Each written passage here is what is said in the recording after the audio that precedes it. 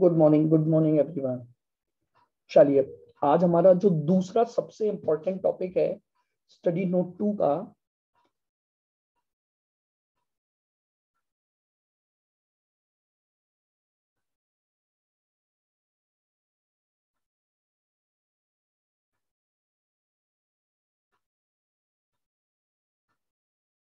reconciliation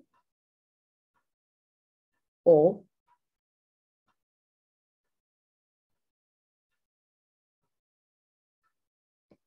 financial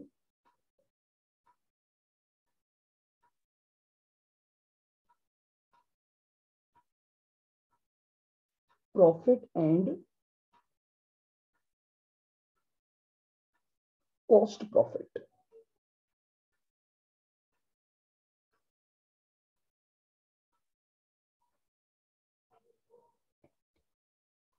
देखिएगा generally जो companies हैं, वो दो तरह के अकाउंट्स मेंटेन कर रही हैं।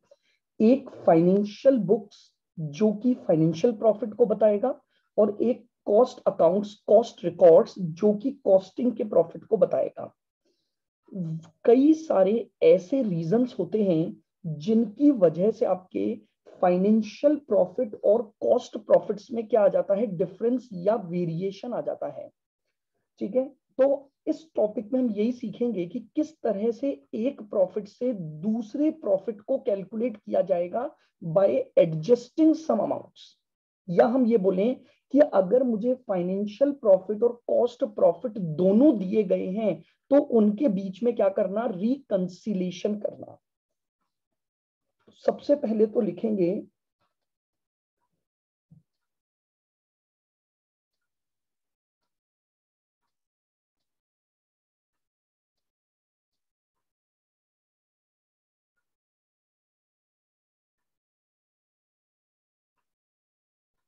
reconciliation statement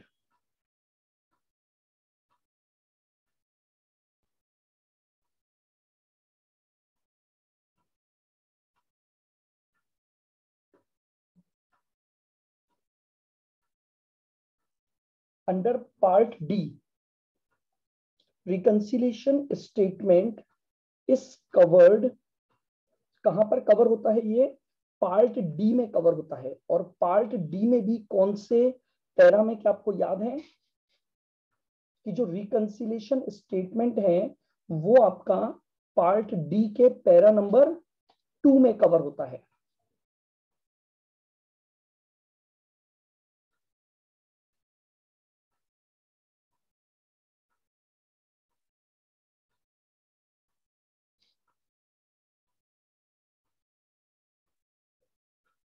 लिखें।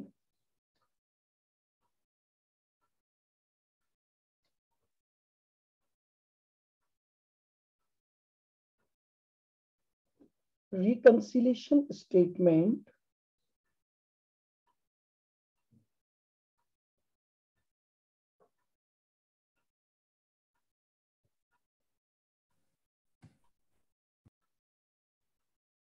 is prepared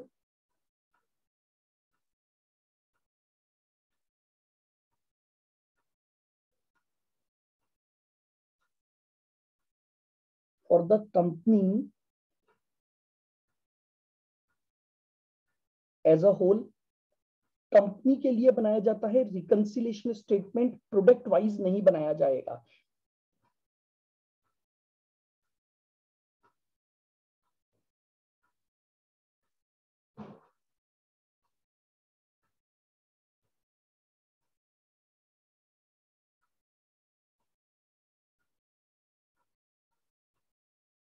Reconciliation statement.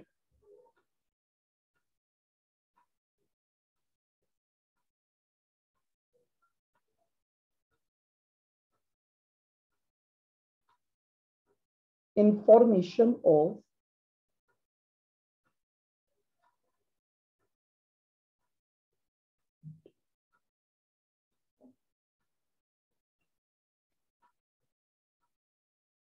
previous year ये जो रिकंसिलेशन स्टेटमेंट आप बनाओगे, ये दो इंफॉर्मेशन प्रोवाइड करेगा, ये करंट ईयर के लिए बनाया करंट ईयर का डाटा देगा और साथ ही साथ corresponding figure of previous year भी आपको ये प्रिपेयर करवाएगा।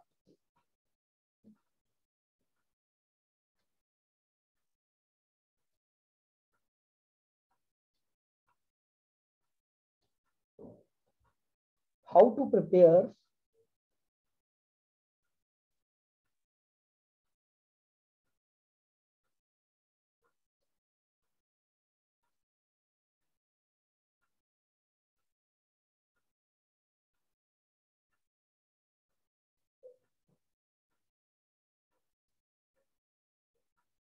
नाउ हम बात करते हैं किस तरह से आपका ये रिकंसिलेशन स्टेटमेंट जो है वो प्रिपेयर किया जाएगा।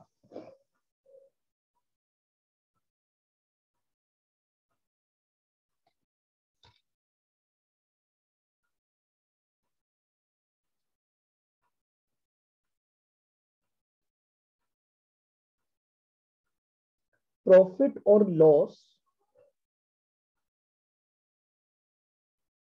as per cost record ज़रूरी नहीं हम कॉस्ट रिकॉर्ड से ही चालू करें, हम फाइनेंशियल के प्रॉफिट लॉस से भी चालू कर सकते हैं। एस क्वेश्चन स्पेसिफाई प्रॉफिट और loss as per cost records सबसे पहले हम क्या करेंगे? जो भी हमारे कॉस्ट अकाउंटिंग के रिकॉर्ड्स हैं, वहाँ से प्रॉफिट उठाएँगे।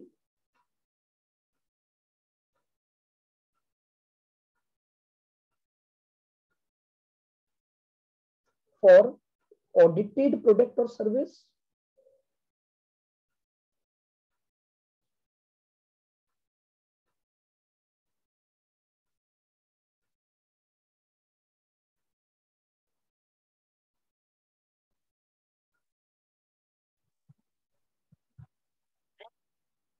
for unaudited products oblique services.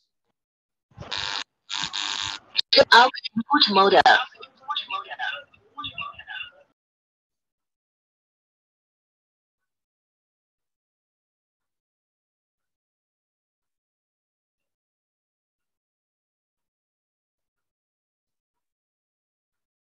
Plus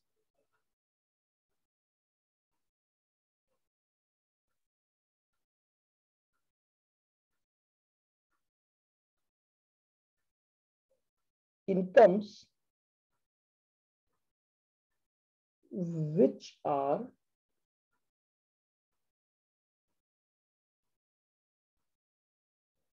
not considered in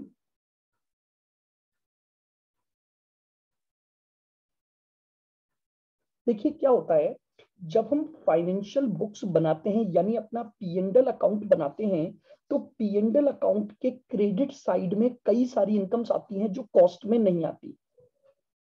मेरी बात को ध्यान से सुनना।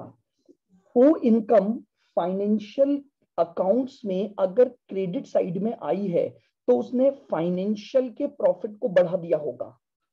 अब अगर मुझे फाइनेंशियल प्रॉफिट को कॉस्ट रिकॉर्ड से मैच कराना है तो मुझे कॉस्ट का प्रॉफिट भी बढ़ाना पड़ेगा। या अगर मान लीजिए मुझे क्वेश्चन में profit as per financial records दिया गया है, अब अगर मैंने कोई इनकम फाइनेंशियल बुक्स में लिखी है तो इसका मतलब मेरे फाइनेंशियल बुक्स के प्रॉफिट ऑलरेडी बढ़े हुए हैं तो मुझे अब उसको क्या करना पड़ेगा? कम करना पड़ेगा। डिपेंड्स कि आप एडजस्टमेंट कौन से प्रॉफिट में करना चाह रहे हो। तो ऐसी इनकम जो कि कॉस्ट में कंसीडर नहीं हुई है उस वजह से कॉस्टिंग का प्रॉफिट कम रह गया और फाइनेंशियल का प्रॉफिट बढ़ा हुआ है तो मैं कॉस्ट के प्रॉफिट को भी बढ़ा दूँगा या फाइनेंशियल के प्रॉफिट को कम कर दूँगा। जैसे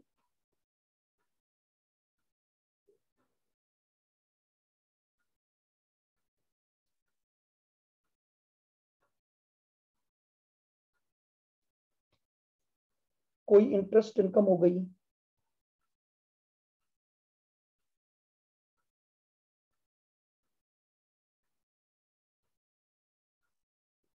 डिविडेंड इनकम हो गई।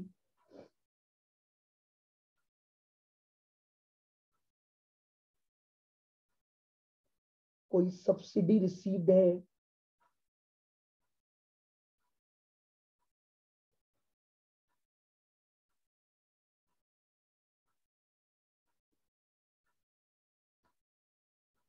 कोई इंश्योरेंस क्लेम रिसीव्ड है।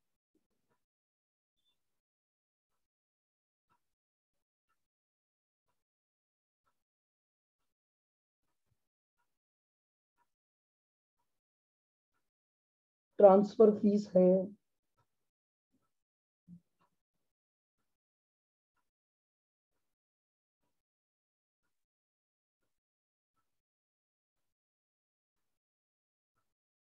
Profit on sale of assets है। तो जो भी इनकम आपको दी हुई है, उनको हम क्या कर देंगे? एडजस्ट कर देंगे। नाउ अब कुछ ऐसे खर्चे हैं जो कि आप फाइनेंशियल बुक्स में तो लिखते हैं, लेकिन उनका कॉस्ट अकाउंट से कोई रिलेशन नहीं होता। अब मैं किसके प्रॉफिट से चल रहा हूँ? मैं कॉस्ट के प्रॉफिट से चल रहा हूँ।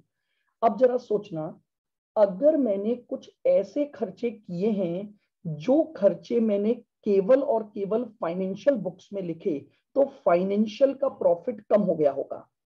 अगर कुछ ऐसे खर्चे हैं, जो मैंने केवल और केवल फाइनेंशियल बुक्स में लिखे तो फाइनेंशियल का प्रॉफिट कम हो गया होगा तो कॉस्ट के प्रॉफिट को भी कम कर दूँगा, क्योंकि मैं कॉस्ट के प्रॉफिट से चल रहा हूँ ऑन द अदर हैंड अगर मैं क्वेश्चन को फाइनेंशियल के प्रॉफिट से चल रहा हूँ, ध्यान से सुनना, कुछ खर्चे जो मैंने फाइनेंशियल के प्रॉफिट में लिख दिए तो मेरा फाइनेंशियल रिकॉर्ड्स का प्रॉफिट कम हो गया होगा, लेकिन चूँकि वो खर्चे कॉस्ट रिकॉर्ड्स में नहीं आए तो कॉस्ट का प्रॉफिट बढ़ा हुआ है तो मैं फाइनेंशियल के प्रॉफिट को भी वापस से बढ़ा दूँगा। मेरी बात समझना, दोनों में से आप जिस प्रॉफिट को लेकर के अपना रिकंसिलेशन या वर्किंग कर रहे हो, आपको उसी प्रॉफिट के इम्पैक्ट को सोचना है कि किस तरह से उस प्रॉफिट को बढ़ाना या मुझे कम करना है। तो देखिएगा, मैंने अगर profit as per cost records लिया तो उसमें उन इनकम्स को जो मैंने फाइनेंशियल बुक्स में लिखी हैं, उसकी वजह से फाइनेंशियल का प्रॉफिट बढ़ गया। तो अब मैं कॉस्ट का प्रॉफिट भी क्या कर दूँगा? बढ़ा दूँगा। आइए, अब इसमें से लेस करते हैं।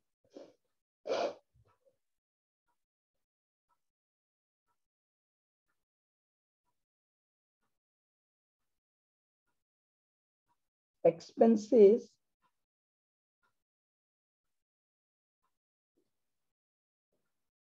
which are?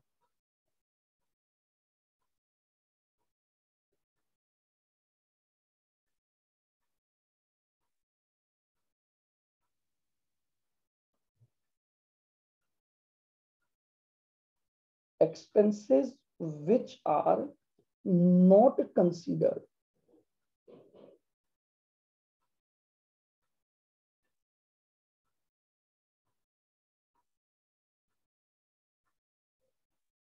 in cost accounts अब देखिएगा, इसका मतलब ये हो गया कि ये वो खर्चे हैं जो आपने फाइनेंशियल बुक्स में तो रिकॉर्ड किए तो फाइनेंशियल के प्रॉफिट कम हो गए। अब अगर फाइनेंशियल के प्रॉफिट कम हो गए और कॉस्ट के प्रॉफिट बढ़े हुए हैं तो मुझे कॉस्ट के प्रॉफिट को भी क्या करना पड़ेगा? कम करना पड़ेगा।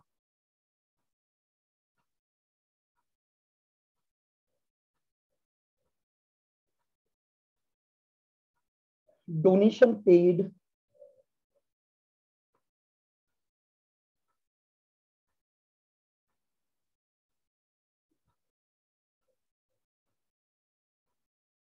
loss on sale of asset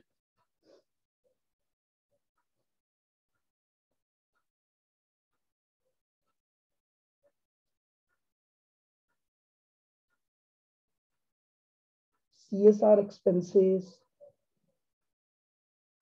other expenses.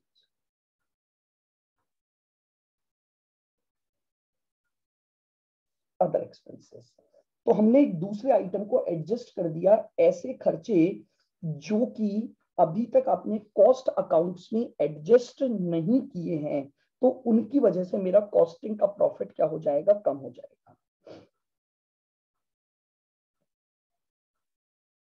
अब, एक आइटम हमारे पास और है। ध्यान से सुनना मेरी बात को। मैं यहाँ पर लिखता हूँ। Plus minus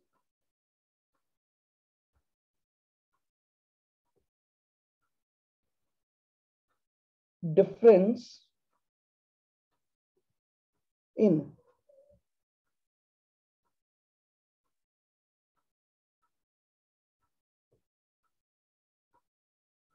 valuation of stock अब देखिएगा देखिएगा एज पर फाइनेंशियल बुक्स और एज पर कॉस्ट बुक्स हमारे स्टॉक के वैल्यूशन में कुछ डिफरेंस आ जाता है। तो आपको ये देखना है कि उस स्टॉक के वैल्यूशन का क्या इंपैक्ट पड़ेगा। ठीक है, इसमें आपके पास raw material stock WIP stock और फिनिश गुड्स तीन तरह के स्टॉक हो सकते हैं और इनके ओपनिंग बैलेंसेस और क्लोजिंग बैलेंसेस का डिफरेंस हो सकता है। तो जब हम प्रैक्टिकल क्वेश्चन करेंगे तो इस पर और डिटेल में चर्चा करेंगे। लेकिन ये भी एक बहुत बड़ा रीजन है कि जिसकी वजह से हमारे कॉस्ट रिकॉर्ड्स और फाइनेंशियल रिकॉर्ड्स में क्या आ जाता है? वेरिएशन आ जाता है। तो जो भी difference in valuation of stock का इंपैक्ट प्रॉफिट पर पड़ेगा, उस अकॉर्डिंग में प्रॉफिट को एड और लेस कर दूँगा। एड और less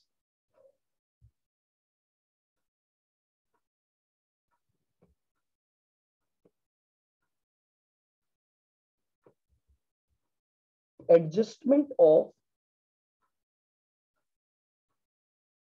items.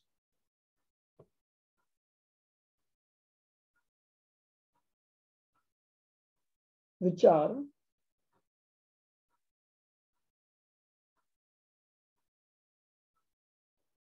not considered.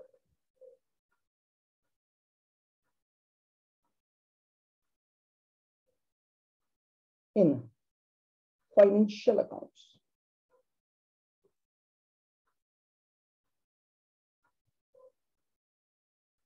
That is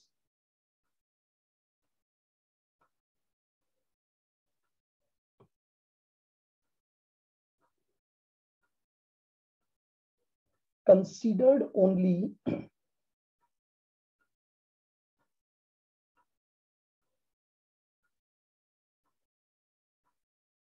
in cost records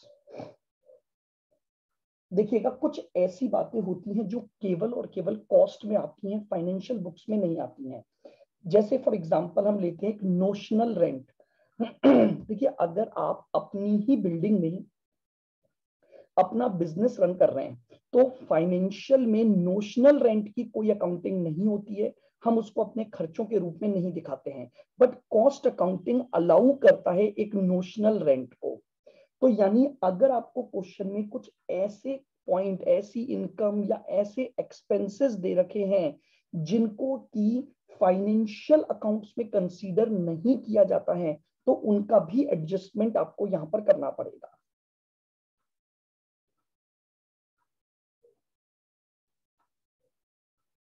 Plus minus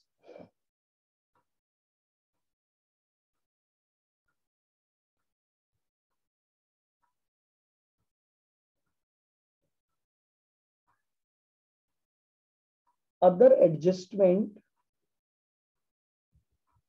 if any. अगर इसके अलावा भी आपको कोई एडजस्टमेंट दिए हुए हैं, जो कि वेरिएशन क्रिएट करते हैं कॉस्ट रिकॉर्ड्स में और फाइनेंशियल रिकॉर्ड्स में तो आपको उनको भी क्या करना पड़ेगा? एडजस्ट करना पड़ेगा। जैसे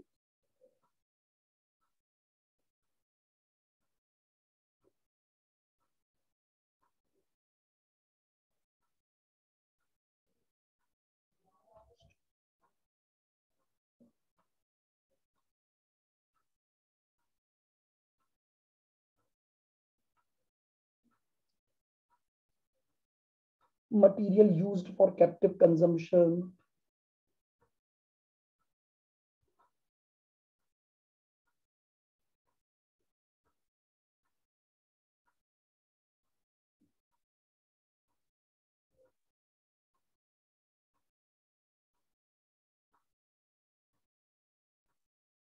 Power used for captive consumption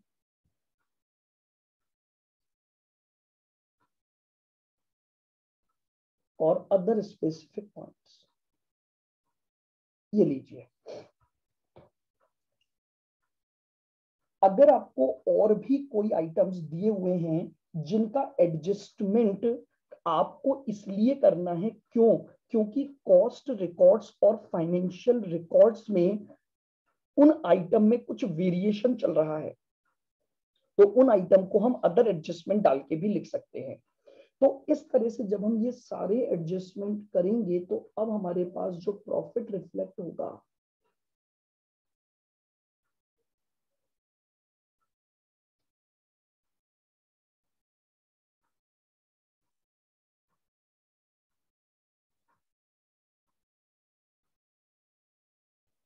ये आ जाएगा profit as per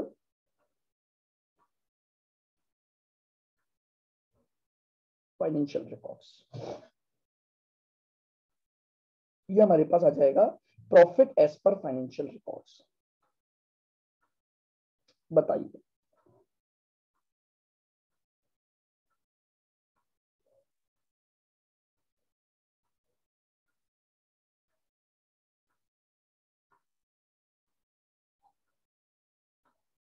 ये लीजिएगा।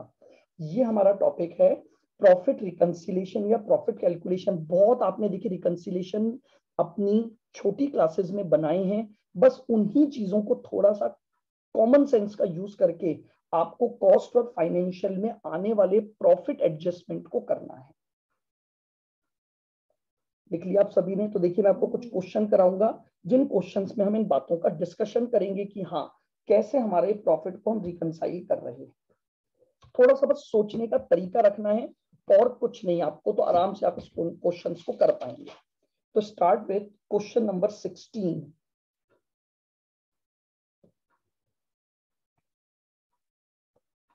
आ जाइएगा। आपके स्टडी मटेरियल का क्वेश्चन है question number sixteen CM study material illustration number four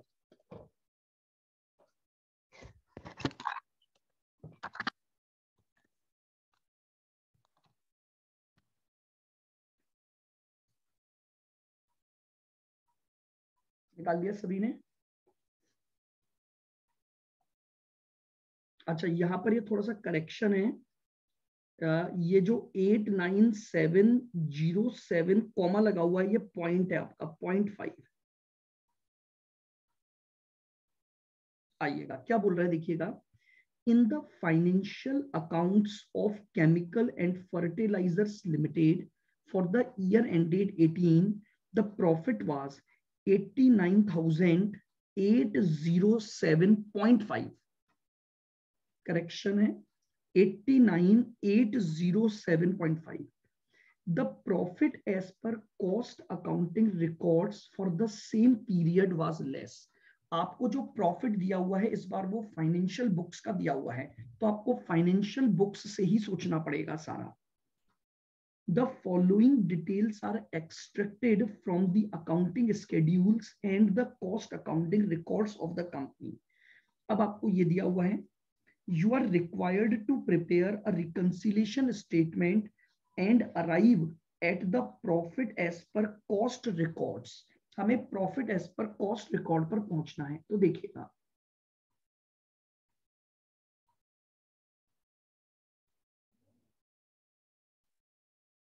CM study material का क्वेश्चन है। सबसे पहले लिख दीजिए profit as per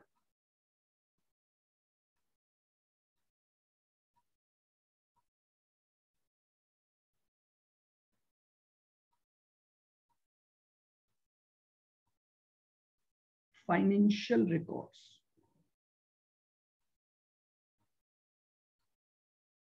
profits as per financial records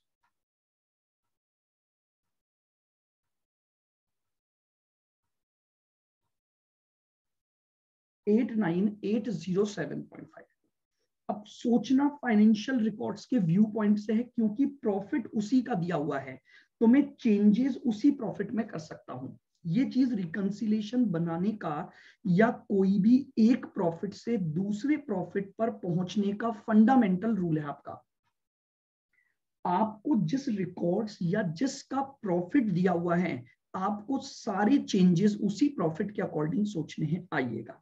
point number one ध्यान से देखना। ओपनिंग स्टॉक है सेमी फिनिश्ड गुड्स का। यानी मैंने फाइनेंशियल बुक्स में ओपनिंग स्टॉक इकतीस सात सौ लिखा हुआ है, जबकि कॉस्ट में ओपनिंग स्टॉक पैंतीस हज़ार दो सौ दस लिखा हुआ है। अब मेरी बात को सुनना। आप जब भी ओपनिंग स्टॉक लिखते हो, चाहे वो सेमी फिनिश्ड यानी डब्ल्यू का हो रॉ मटेरियल का हो या फिनिश गुड्स का हो, जब आप फाइनेंशियल बुक्स में ओपनिंग स्टॉक लिखते हो तो वो डेबिट साइड होता है। डेबिट साइड आपके खर्चों का साइड है। डेबिट साइड आपकी खर्चों का साइड होती है। अब आपने फाइनेंशियल में कम लिखा बहुत ध्यान से सुनना। कॉस्टिंग के तहत तो आपका ओपनिंग स्टॉक था पैंतीस हज़ार दो सौ दस, लेकिन फाइनेंशियल बुक्स के अकॉर्डिंग है इकतीस सात सौ। फाइनेंशियल बुक्स में आपने स्टॉक को कम लिखा, ध्यान रखना।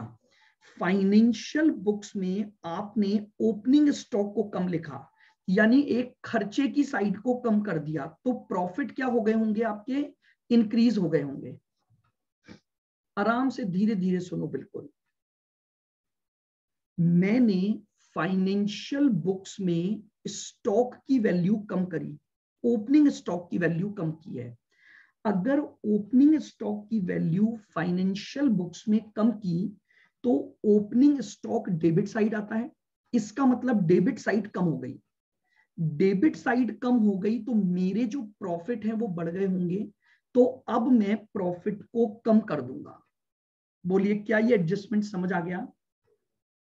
मैंने जितना कम डेबिट किया, उतना प्रॉफिट बढ़ गया। तो वापस से प्रॉफिट को सही करने के लिए क्या कर दो? कम कर दो।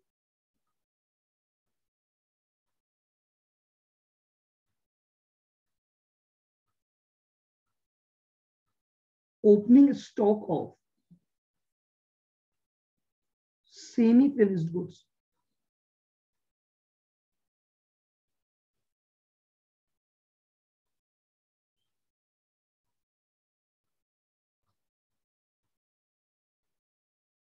पैंतीस हज़ार दो सौ दस माइनस इकतीस हज़ार सात सौ। पैंतीस दो सौ दस माइनस इकतीस सात सौ। थ्री फाइव वन ज़ीरो ये लीजिए। मेरा पहला एडजस्टमेंट हो गया। आगे बढ़ते हैं। फिनिश गुड्स का ओपनिंग आइएगा। फाइनेंशियल में फिनिश गुड्स का ओपनिंग स्टॉक ज़्यादा लिख रखा है। अगर स्टॉक डेबिट साइड में ज़्यादा लिख रखा है तो इसका मतलब मेरे प्रॉफिट कम हो गए होंगे। कॉस्ट के कंपैरिजन में मैंने फाइनेंशियल बुक्स में ओपनिंग स्टॉक ज़्यादा लिख रखा है, बात समझ में आ रही है आपको? अगर ओपनिंग स्टॉक डेबिट साइड में आता है और डेबिट आइटम ज़्यादा लिख दिया तो इसका मतलब यह हुआ कि आपके ये प्रॉफिट कम हो गए होंगे। तो अब हम इस प्रॉफिट को क्या कर देंगे? बढ़ा देंगे।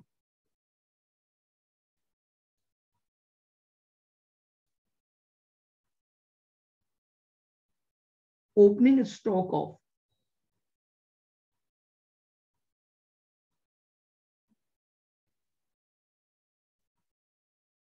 finished goods चाहो तो आप लिख सकते हो ओवर वैल्यू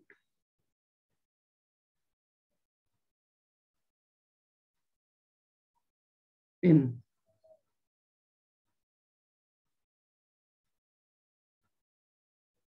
फाइनेंशियल अकाउंट्स तो ये लीजिए ओपनिंग स्टॉक की वजह से मेरे प्रॉफिट जो कम हो गए थे, मैं उन प्रॉफिट को बढ़ा दूँगा। डिफरेंस निकाल देता हूँ।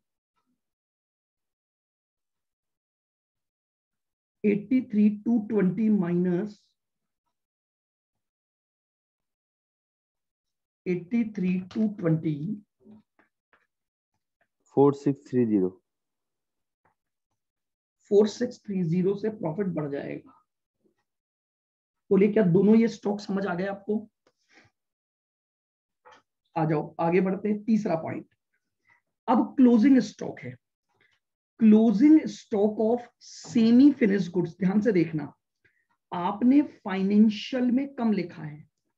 फाइनेंशियल में कम लिखा है। क्लोजिंग स्टॉक आपका क्रेडिट आइटम है। अगर आप क्रेडिट आइटम को कम लिखते हो तो प्रॉफिट भी कम आएँगे। अगर आपने क्रेडिट आइटम को कम लिखा, बिल्कुल धीरे धीरे आराम से क्वेश्चन को समझो। थोड़ा प्रैक्टिस चाहिए बस आपको। तो अगर मैंने क्लोजिंग स्टॉक को फाइनेंस में कम लिखा है, क्योंकि मैं फाइनेंशियल के प्रॉफिट से चल रहा हूँ तो अगर मैंने क्लोजिंग स्टॉक को कम लिखा तो क्लोजिंग स्टॉक आता है क्रेडिट साइड में तो क्रेडिट के आइटम को कम लिखा तो प्रॉफिट भी कम हो चुके हैं। तो अब मैं प्रॉफिट को बढ़ा दूँगा। तो यहाँ पर मैं प्लस करूँगा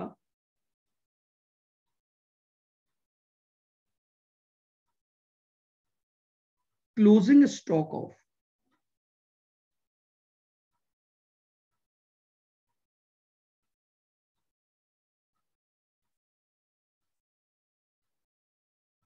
semi-finished goods. Closing stock of semi-finished goods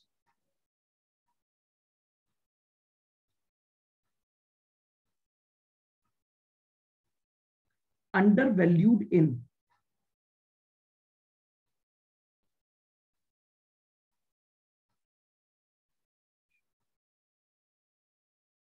financial accounts कितना अंडर वैल्यूड है? Three nine four two zero minus three five two six zero ये लीजिए।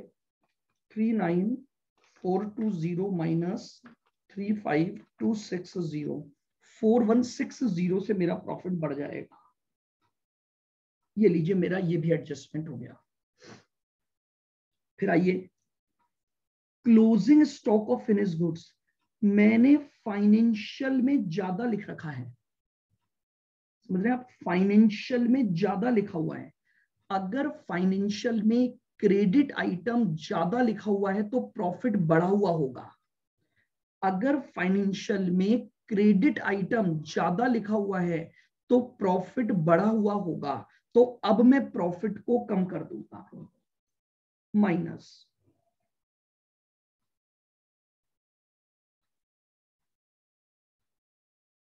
Closing stock of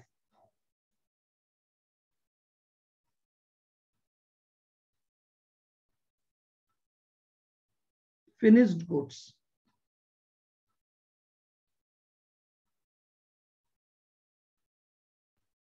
overvalued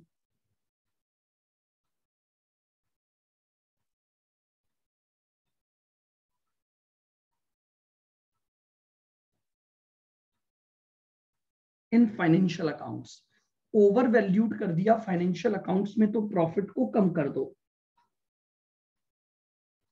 Eight nine three two zero minus eight zero four five zero लीजिए। Eight nine three two zero minus eight zero four five zero या गया eight eight seven zero ये लीजिए, ये मेरे सारे स्टॉक के point हो गए।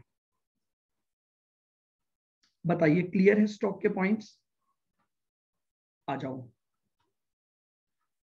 आपको एक ट्रांसपोर्ट सब्सिडी मिली है, यानी इनकम तो हमें यह पता है कि इनकम तो कॉस्ट अकाउंट्स में आती ही नहीं है।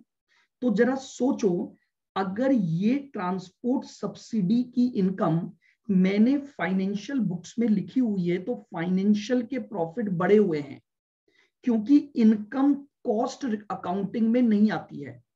तो फाइनेंशियल के प्रॉफिट बड़े हुए हैं तो मुझे अब फाइनेंशियल के प्रॉफिट्स को कम करना पड़ेगा।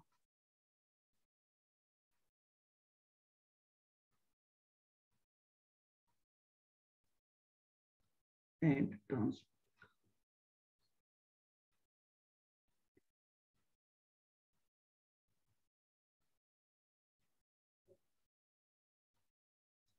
subsidy.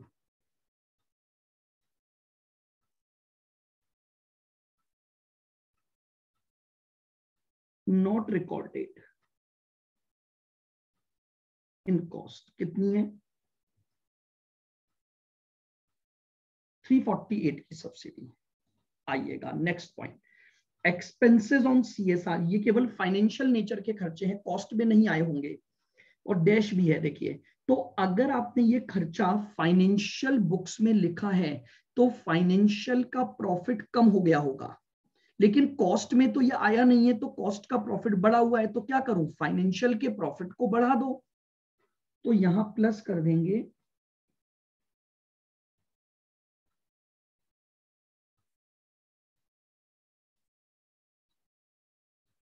एक्सपेंसेस ऑन सीएसआर ये लीजिए वापस बताना हाँ। जी देखो मैंने एक खर्चा लिखा हुआ है फाइनेंशियल बुक्स में। कॉस्टिंग में तो है ही नहीं है खर्चा। यस सर अब मुझे बताओ अगर फाइनेंस में कोई खर्चा लिखोगे तो प्रॉफिट पर क्या फ़र्क पड़ेगा? कम हो गए कम हो गए होंगे ना प्रॉफिट आपके तो आपको फाइनेंस के प्रॉफिट तो ऑलरेडी दे रखे हैं। Yes, तो ये प्रॉफिट निकालते समय आपने इस खर्चे को लिख दिया होगा कि नहीं लिख दिया होगा? लिख दिया होगा। तो आपके प्रॉफिट कम है लेकिन ये खर्चा कॉस्टिंग में हुआ नहीं। तो कॉस्टिंग हाँ। का प्रॉफिट तो ज़्यादा होगा ना? यस सर तो बराबर लाने के लिए क्या करूँगा? फाइनेंशियल के प्रॉफिट को बढ़ा दूँगा इस अमाउंट से। ठीक है सर तो मैंने उस खर्चे को वापस से एड बैक कर दिया। थोड़ा सा टाइम देना पड़ेगा बस इस टॉपिक को क्योंकि आपको बस एक एक आइटम पर सोचना है और उसका इंपैक्ट डालना है बस। आओ। Profit on sale of asset profits पे तो सोचना ही नहीं है, क्योंकि कॉस्टिंग में कोई इनकम नहीं आती है। तो लेस कर दो। क्योंकि फाइनेंशियल बुक्स में मैंने ये प्रॉफिट लिख दिया होगा तो मेरे प्रॉफिट बढ़ गए होंगे। तो अब मैं प्रॉफिट को कम कर दूँगा। Profit on sale of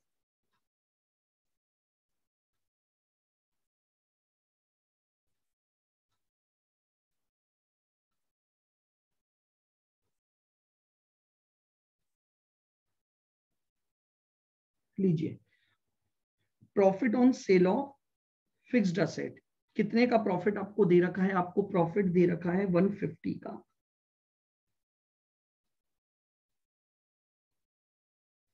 next आइएगा। केमिकल यूज्ड इंटरनली यानी कैप्टिव कंजम्पशन की बात कर रहा है ये।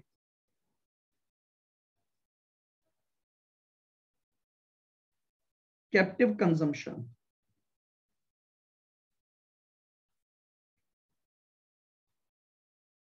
अब जरा सोचिएगा। कैप्टिव कंजम्पशन के पॉइंट पर थोड़ा सा आपको पॉइंट मेरे हिसाब बात का सुनना पड़ेगा। देखिएगा इसने क्या बोला है? Chemical used internally now what does it mean देखिए क्या हुआ होगा? फाइनेंशियल बुक्स में हम बात करते हैं। 382 का केमिकल हमने इंटरनली यूज़ किया। इंटरनली यूज़ करने का मतलब हो गया हमारा खर्चा नहीं हुआ होगा। आप समझ रहे हो? खर्चा नहीं हुआ हमारा। हमने खुद ही बनाया, खुद ही यूज़ कर लिया तो खर्चा नहीं हुआ। तो अगर फाइनेंशियल में 382 का खर्चा कम हुआ है तो प्रॉफिट बढ़ा हुआ होगा। लेकिन कॉस्ट में ये 365 ही यूज़ हुआ है। कॉस्ट में ये केवल 365 ही यूज़ हुआ है।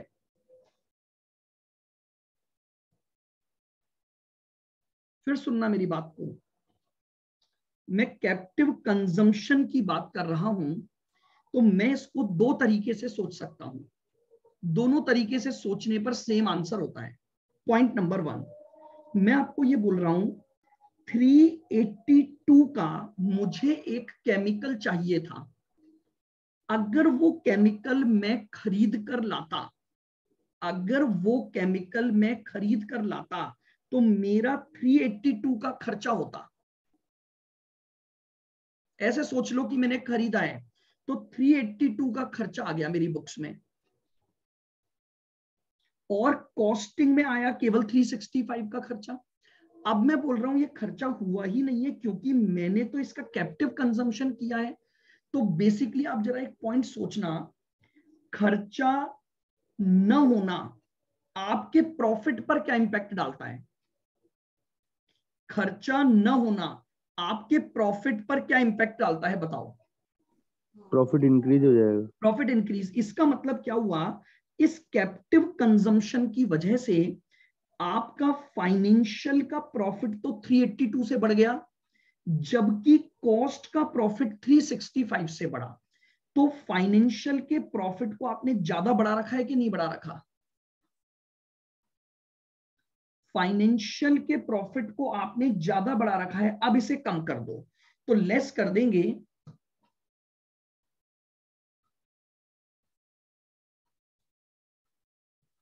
Excess chemical used internally.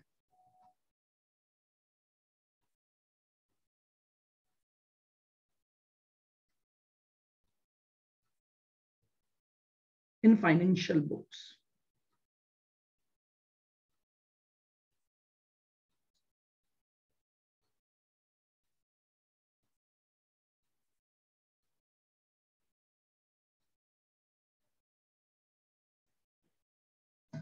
बोलिए, बात समझ आ गई यहाँ तक।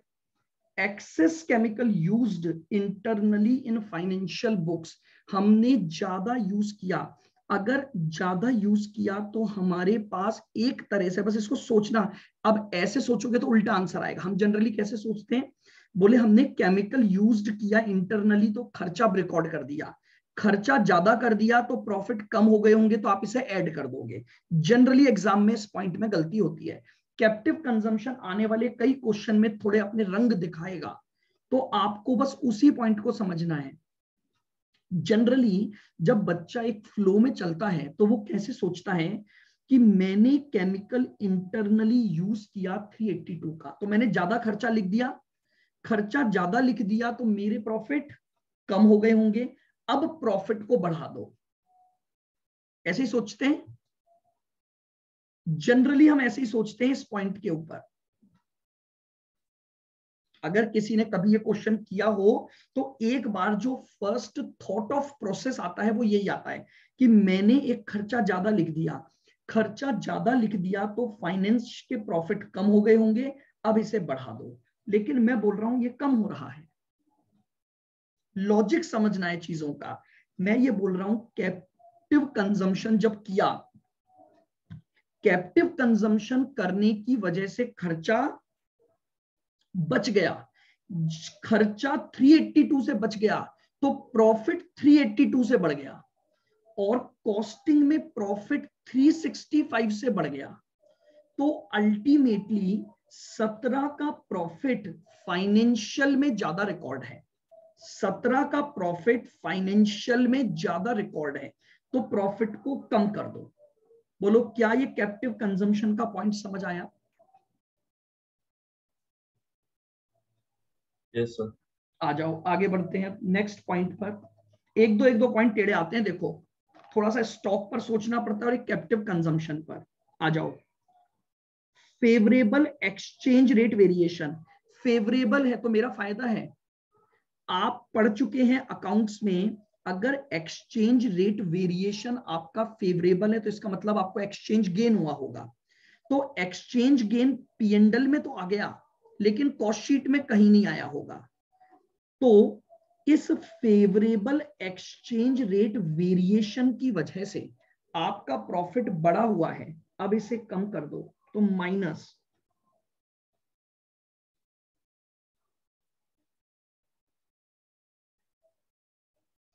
favorable.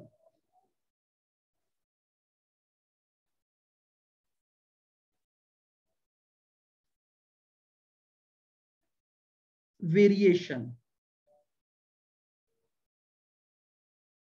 294 ये हमने 294 से अपने प्रॉफिट को कम कर दिया।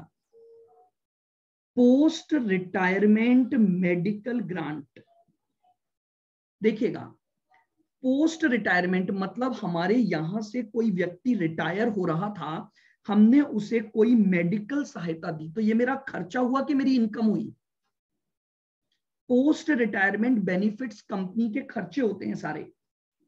तो इसका मतलब मैंने अपने फाइनेंशियल अकाउंट्स में एक खर्चा लिख दिया पोस्ट रिटायरमेंट मेडिकल ग्रांट का। लेकिन कॉस्टिंग में ऐसा कोई खर्चा नहीं हुआ। इसका मतलब क्या हुआ? अगर मैंने फाइनेंशियल अकाउंट्स में 584 का खर्चा रिकॉर्ड किया है तो मेरे प्रॉफिट कम हो गए होंगे। तो अब मैं इन प्रॉफिट्स को क्या कर दूँगा? बढ़ा दूँगा। तो आइए, मेरे पास नेक्स्ट पॉइंट प्लस का है। पोस्ट रिटायरमेंट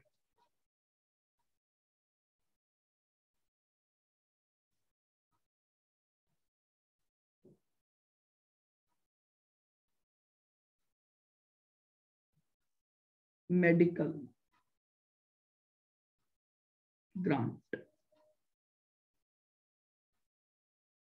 लीजिए 584 का ट्रीटमेंट भी कर दिया। परचेज टैक्स रिफंड ये तो इनकम है हमारी तो इनकम तो वैसे ही नहीं आती है तो लेस कर दूँगा। क्योंकि मैंने जैसे ही टैक्स रिफंड को अपने पीएनडल में क्रेडिट किया होगा, मेरे फाइनेंशियल के प्रॉफिट बढ़ गए होंगे, अब उसे कम कर दो।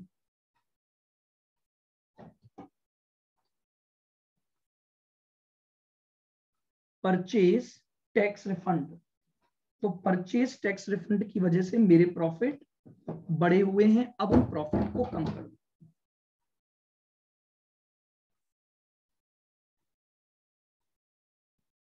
कितने? 453 last point litigation recovery of the prior years prior years की कोई कानूनी रिकवरी हुई है? लेटिगेशन कोई केसेस चल रहे थे, उसकी कोई रिकवरी हुई है? हम कोई केस जीते। तो पीएनडल में तो इनकम आ गई होगी as a prior period income तो इनकम है तो इनकम तो मैं आपको पहले ही बता चुका हूँ। हमारे कॉस्ट रिकॉर्ड्स में इनकम कोई आती नहीं है तो सोचना ही नहीं है। अगर ये इनकम फाइनेंशियल बुक्स में रिकॉर्ड की हुई है तो फाइनेंशियल के प्रॉफिट बड़े हुए हैं। अब हम कम कर देंगे माइनस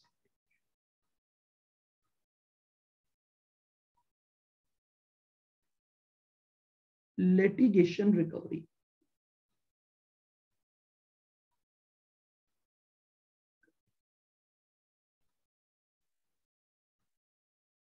ये लीजिए, सारे कंप्लीट हो गए मेरे आइटम अब मैं अपना नेट रिज़ल्ट निकाल लेता हूँ तो देखिएगा eight nine eight zero seven point five पहला माइनस है थ्री फाइव वन ज़ीरो फिर प्लस है फोर सिक्स थ्री ज़ीरो फिर प्लस है फोर वन सिक्स ज़ीरो फिर माइनस है eight eight seven zero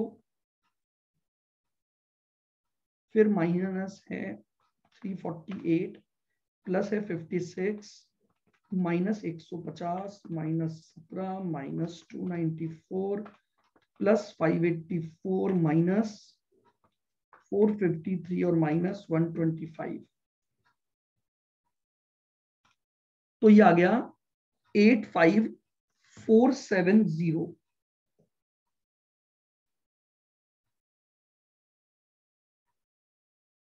eight five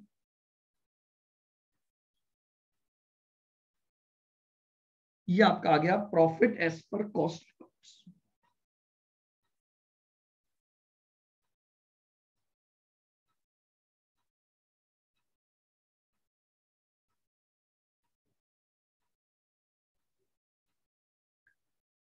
लीजिएगा आराम से देख लीजिए।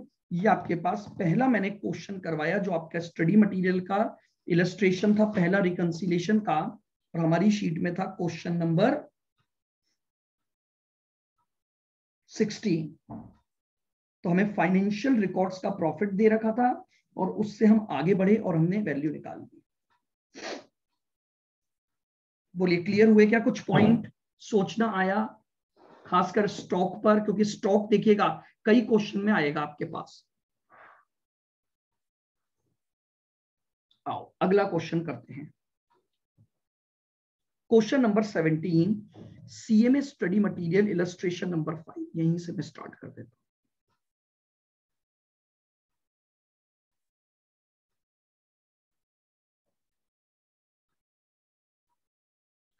Solution number seventeen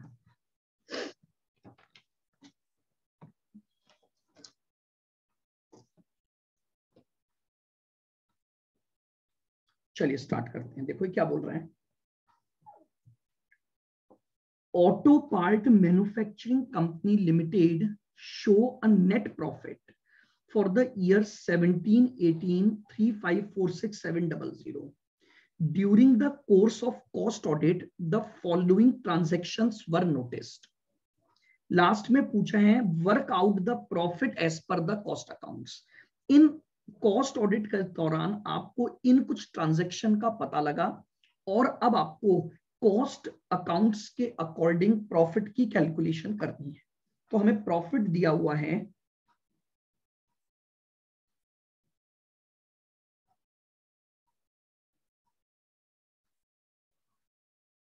Profit as per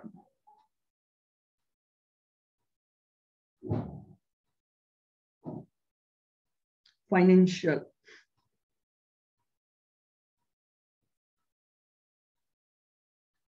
Records. Three five four six seven double zero ये आपको प्रॉफिट दिया हुआ है एज पर फाइनेंशियल रिकॉर्ड्स आइएगा पहला ट्रांजेक्शन एक ओल्ड मशीन जिसकी बुक वैल्यू 654 थी इसे नौ लाख तीस हज़ार में बेच दिया तो आपको प्रॉफिट हो गया। तो अगर आपने कोई भी प्रॉफिट कमाया तो फाइनेंशियल बुक्स में वो प्रॉफिट इंक्लूड है तो इसे हटा दो। Minus profit on sale of machine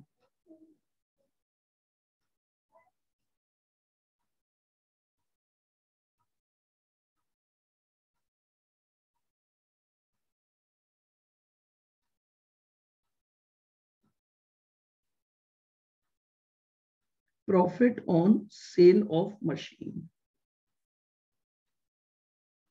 No piece.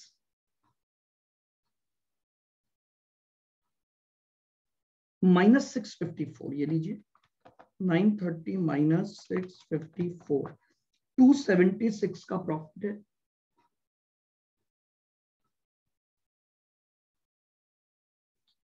ये प्रॉफिट मैंने कम कर दिया।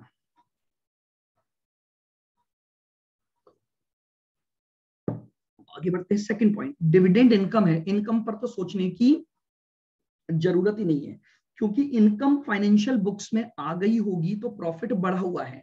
अब प्रॉफिट को कम कर दो minus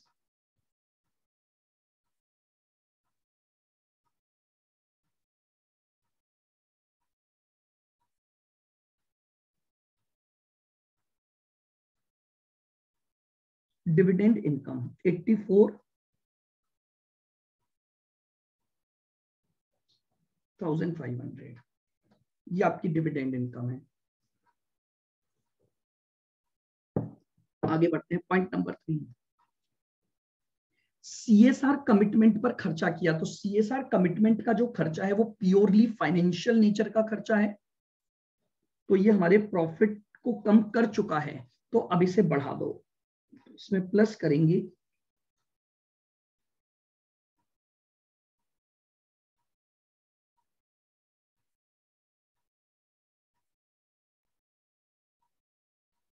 एक्सपेंसेस ऑन सीएसआर ये लीजिए, ये हमने प्लस को प्लस कर दिया। आगे बढ़ते हैं। अब देखो कंपनी एक ट्रेडिंग एक्टिविटी में लगी हुई है, जिसमें उसने तेरह पचास का गुड्स परचेस किया है, तेरह बयालीस तीन सौ में बेचा और खर्चे भी किए। तो ट्रेडिंग रिज़ल्ट निकाल लो। ट्रेडिंग रिज़ल्ट तो देखो कॉस्ट क्या क्या हुई? तेरह लाख पचास हज़ार का तो खरीदा प्लस चालीस आठ सौ के खर्चे किए।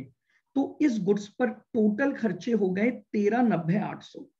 माइनस इसको बेचा तेरह बयालीस तीन सौ में। तो आपको एक लॉस हुआ ट्रेडिंग लॉस बताइए, जब आपने वो ट्रेडिंग लॉस फाइनेंशियल बुक्स में लिखा होगा तो लॉस लिखने की वजह से प्रॉफिट क्या हो गए होंगे आपके?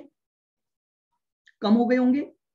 आपने एक बिज़नेस किया, एक ट्रेडिंग एक्टिविटी कोई गुड्स खरीद कर लाए और उसे बेच रहे हो। लेकिन उस ट्रेडिंग एक्टिविटी के दौरान आपको लॉस हो गया। तो जो लॉस हुआ, उसने आपके प्रॉफिट को कम कर दिया होगा। तो अब मैं प्रॉफिट को वापस से बढ़ा दूँगा। प्लस ट्रेडिंग लॉसेस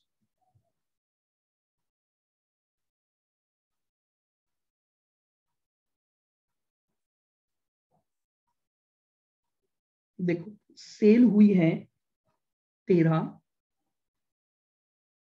बयालीस, तीन सौ माइनस खर्चे क्या क्या हुए? तेरह पचास का तो गुड्स लाया, चालीस, आठ सौ का खर्चा किया। ये लीजिए, मैंने ट्रेडिंग लॉस की अकाउंटिंग कर दी, ये मेरे पास ट्रेडिंग लॉस आ गया। आओ आगे बढ़ते हैं। Some renovation work was carried out at a cost of 7 lakh 75,000 and its useful life was only for the five years. And अब देखिए क्या था पॉइंट यहाँ पर है ना कई क्वेश्चन में ये लाइनें आएँगी जिन पर एक इंटरप्रिटेशन है हालाँकि वो लैंग्वेज पूरी होनी चाहिए थी। पॉइंट क्या था? हमने एक रिनोवेशन वर्क करवाया, जिसका खर्चा हुआ सात लाख पिचहत्तर हज़ार। लेकिन इसका बेनिफिट मुझे आगे के पाँच सालों तक मिलना है। तो मुझे इस खर्चे का जो अमोरटाइजेशन है, वो पाँच सालों तक करना चाहिए।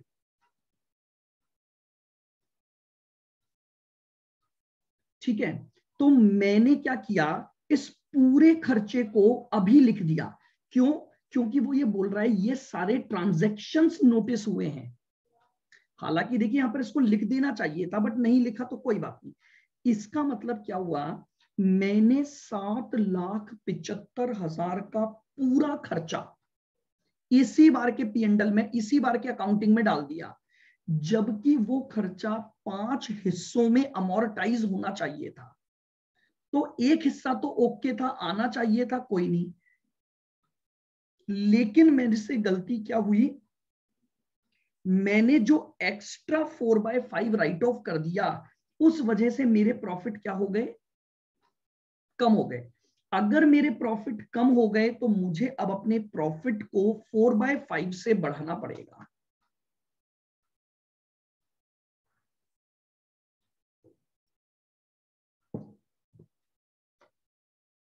तो ये थोड़ा सा पॉइंट है जो कई बार थोड़ा और कंफ्यूज कर देता है एग्ज़ाम में।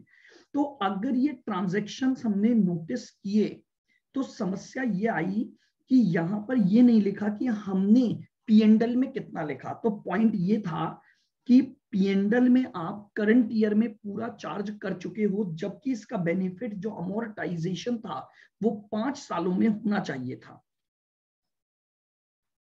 तो मैं अपने प्रॉफिट को वापस से बढ़ाऊँगा फोर बाय फिफ्थ से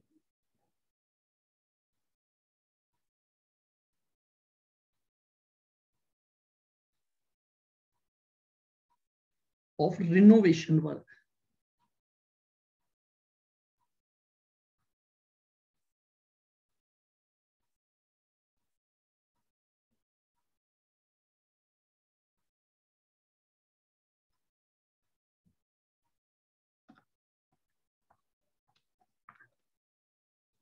सात लाख कितना था पिछहत्तर हज़ार। सेवन सेवन निकाल लीजिए कितना हुआ? छह लाख बीस हज़ार।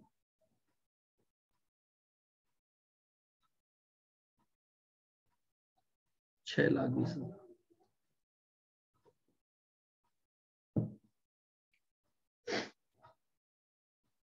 आइएगा। अब बोल रहे closing stock of raw material undervalued है। और फिनिश गुड्स का ओवर वैल्यूड है फाइनेंशियल रिकॉर्ड्स में आइए। क्लोजिंग स्टॉक अगर कम लिखा, समझना, अगर क्लोजिंग स्टॉक अंडर वैल्यूड है तो प्रॉफिट कम रह गया होगा। तो अब हम प्रॉफिट को बढ़ाएँगे। तो लिखो closing stock of raw material undervalued plus कर दो।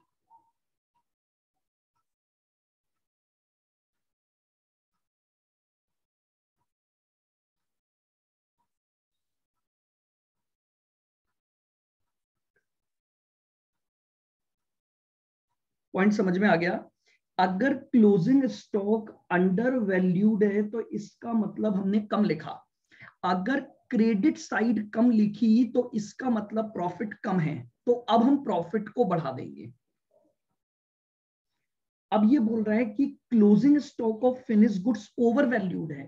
ज़्यादा लिख दिया तो प्रॉफिट ऑलरेडी बढ़ चुका है। बढ़े हुए प्रॉफिट को कम कर दो। तो पैंसठ चार सौ लेस हो जाएगा। Less closing stock of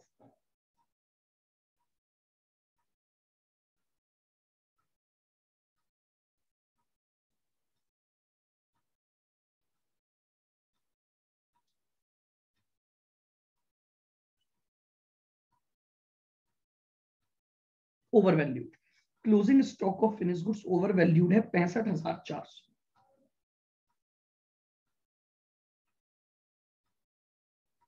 लीजिए, सारे ट्रांजेक्शन कंप्लीट हो गए।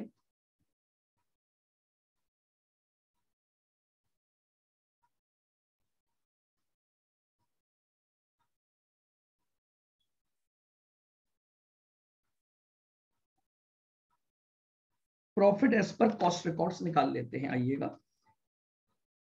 Three five four six seven hundred minus two seventy six triple zero minus eighty four five hundred plus अट्ठावन हज़ार प्लस अड़तालीस पाँच सौ प्लस छह बीस plus twenty nine six hundred और माइनस पैंसठ चार सौ।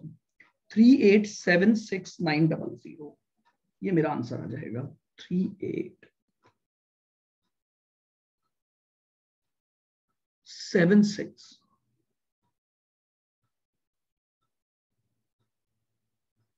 ये लीजिए, ये मेरे पास आ गया profit as per cost records financial का प्रॉफिट दिया हुआ था कॉस्ट रिकॉर्ड का प्रॉफिट मैंने निकाल लिया। बोलिए, क्या और थोड़े बातें क्लियर हुई? सोचना आ रहा है अब। ओनली नीड प्रैक्टिस हमें बस कुछ टर्म्स के बारे में सोचना है बस, और कुछ नहीं।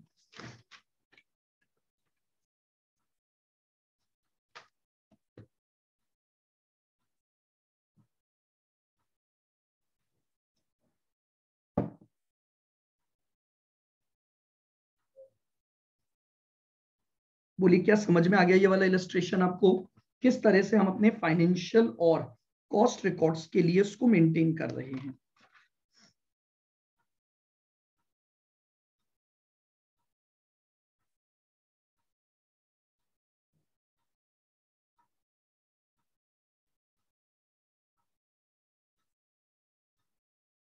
आइए एक छोटा और क्वेश्चन अपन करते हैं। देखिए प्रैक्टिस बस। अब अपने पास जो पॉइंट्स हैं, अपने को उनको प्रैक्टिस में लेना है। क्वेश्चन नंबर 19 पर आइएगा। स्टडी मटेरियल सेवेंथ इलस्ट्रेशन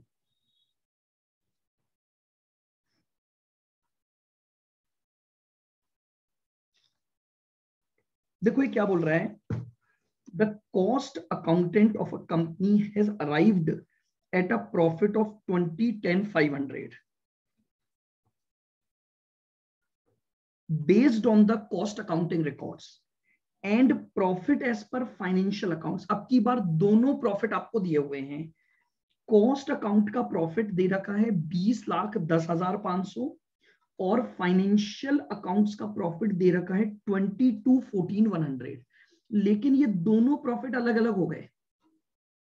तो कॉस्ट ऑडिटर ने कुछ डिफरेंसेस ढूंढ निकाले कि भाई कॉस्टिंग के प्रॉफिट और फाइनेंशियल प्रॉफिट में ये जो डिफरेंसेस हैं, इनके रीजन क्या हैं? ये बोल रहा है, आपको एक रिकंसिलेशन स्टेटमेंट बनाना है। आ जाओ।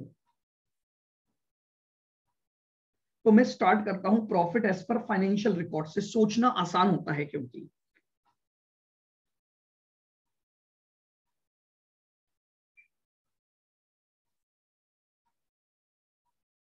नाइनटीन सॉल्यूशन देखिएगा।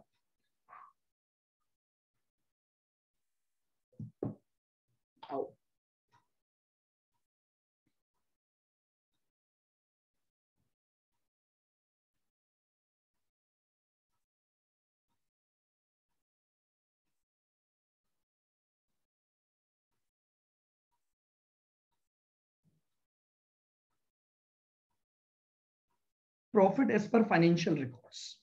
कितना दे रखा है? बाईस, चौदह, one double zero, twenty two, fourteen, one hundred. Clear यहाँ तक आओ, एक एक पॉइंट पर बात करेंगे profit on sale of fix asset हमें पता है कोई भी प्रॉफिट फाइनेंशियल बुक्स में तो आया होगा, लेकिन कॉस्ट रिकॉर्ड्स में नहीं आया होगा। तो जब आपने फाइनेंशियल रिकॉर्ड्स में ये प्रॉफिट दिखाया तो आपके प्रॉफिट बढ़ चुके हैं। तो प्रॉफिट को क्या कर दो? कम कर दो। तो माइनस कर देंगे।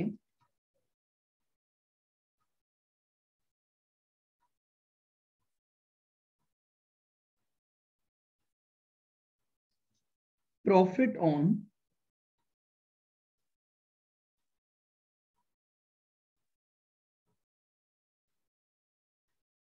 sale of fix asset दो लाख पाँच हज़ार।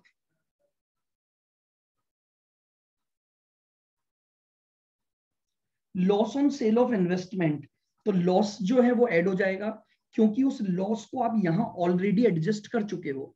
तो फाइनेंशियल में जब आपने लॉस दिखाया तो आपके प्रॉफिट आपने कम कर दिए होंगे, अब अपन बढ़ा देंगे।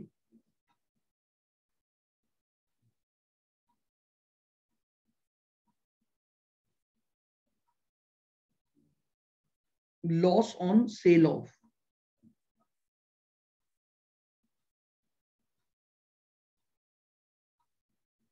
Investment.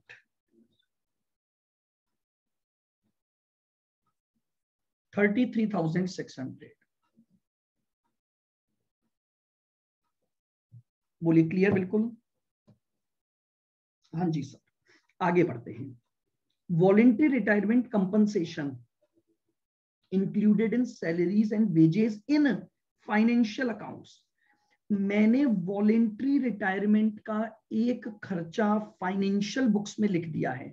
तो इसका मतलब मेरे फाइनेंशियल के प्रॉफिट कम हो गए होंगे। तो अब बढ़ा दू तो प्लस कर दो। Plus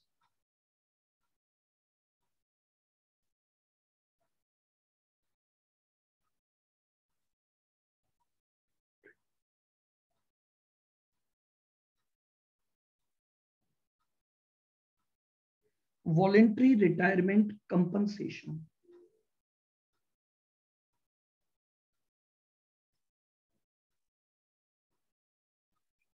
कितना है?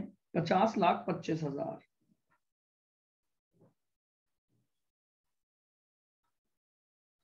ये लीजिए। ये मेरा एक और पॉइंट हो गया। डोनेशन पेड फिर हमें पता है donation paid purely financial nature का खर्चा है। तो इस प्रॉफिट को निकालते समय हमने डोनेशन पेड को लेस कर दिया। वापस से अब डोनेशन पेड को ऐड कर दो। कितनी है? पिचहत्तर हज़ार। प्लस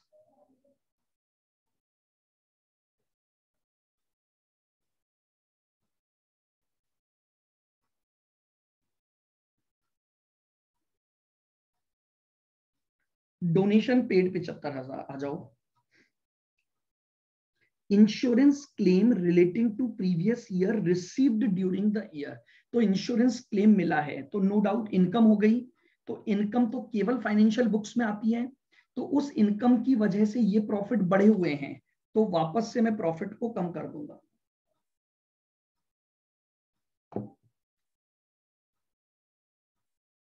तो कम कर दीजिए minus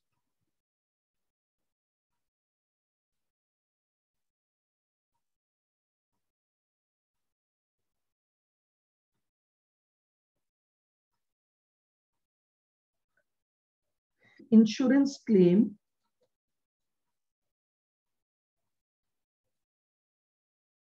relating to previous year.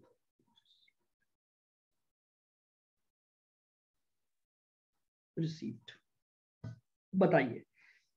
कितना इंश्योरेंस क्लेम मिला है आपको? Five zero eight seven double zero तो लेस कर दीजिए।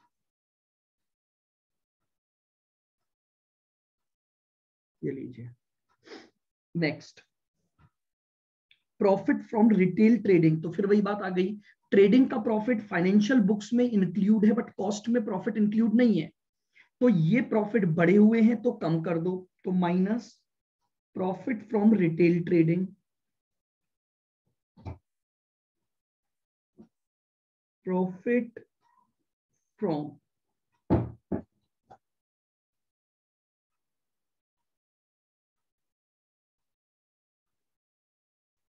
retail trading कितने का प्रॉफिट दे रखा है? Thirty two zero two four three zero thirty two आ रहा है ना, समझ में बिल्कुल धीरे धीरे चल रहे हैं अपन, इसीलिए। बस फिर आप जितनी प्रैक्टिस करोगे टॉपिक तो बस यही है आपका। अब आप जितने क्वेश्चंस की प्रैक्टिस करोगे, आपको समझ आएगा कि हाँ किस तरह से हमें प्रॉफिट्स को रिकनसाइल करना है।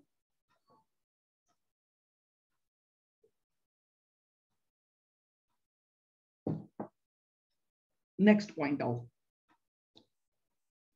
इंटरेस्ट इनकम है तो इनकम लेस हो जाएगी, क्योंकि इनकम केवल फाइनेंशियल अकाउंट्स में आई होगी तो प्रॉफिट बढ़ गए होंगे तो माइनस कर दीजिए।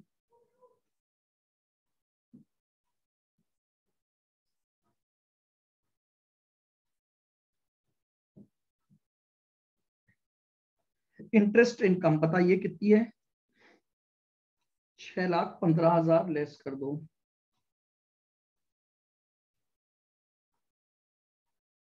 ये लीजिए। नेक्स्ट अब जरा आ गया एक और अच्छा सा पॉइंट देखो decrease in value of closing W I P and finish goods inventory as per financial accounts as per cost accounts this is not value of closing inventory ये देखिए, फिर एग्ज़ाम में गलतियाँ होती हैं। मैं ये नहीं बोल रहा हूँ कि ये फाइनेंशियल का क्लोजिंग है और ये कॉस्ट का क्लोजिंग है। मैं बोल रहा हूँ, ये जो दे रखा है, वो डिक्रीज इन वैल्यू दे रखा है। डिक्रीज इन वैल्यू का मतलब समझते हो? डिक्रीज इन वैल्यू का मतलब हुआ कि आपका जो क्लोजिंग स्टॉक है, वो ओपनिंग के कंपैरिजन में कम है। उसे बोलते हैं डिक्रीज इन वैल्यू वैल्यू कम हो गई। अब जरा सोचो, क्लोजिंग स्टॉक की वैल्यू कम होने से प्रॉफिट पर क्या फ़र्क पड़ेगा?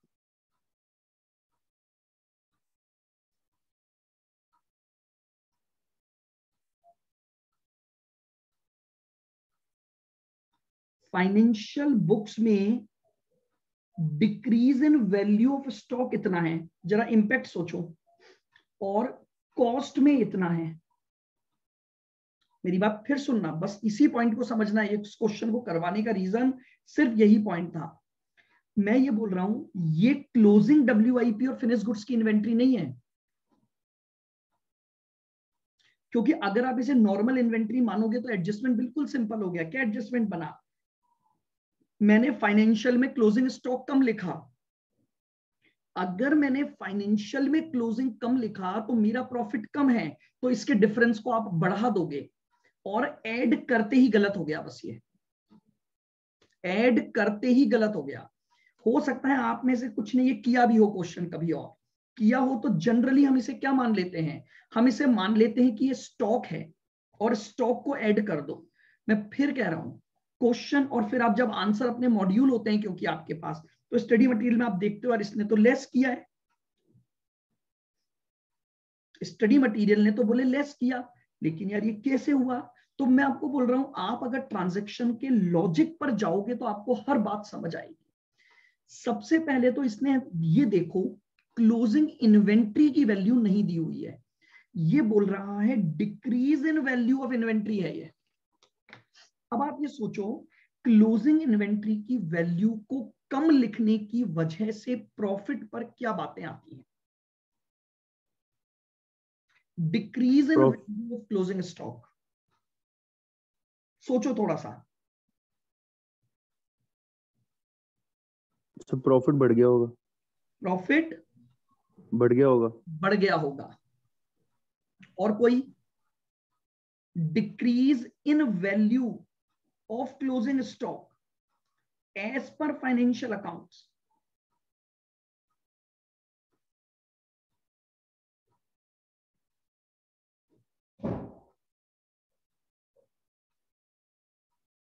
कोई नहीं, बस एक जने ने बोला, सोचो सोचो और समझो चीज़ों को, तभी आपको पॉइंट समझ आएगा। देखो decrease in value of closing W I P and finish goods inventory as per the financial accounts केवल पहली लाइन को पढ़ो कॉस्ट अकाउंट्स भूल जाओ, आपको ऑटोमेटिक समझ आएगा। डिक्रीज हुआ है क्लोजिंग डब्ल्यू आई पी में और फिनिश गुड्स की इन्वेंट्री में एज पर फाइनेंशियल अकाउंट्स अब क्लोजिंग स्टॉक की वैल्यू डिक्रीज इन स्टॉक क्या होता है? पहले तो ये समझो आप।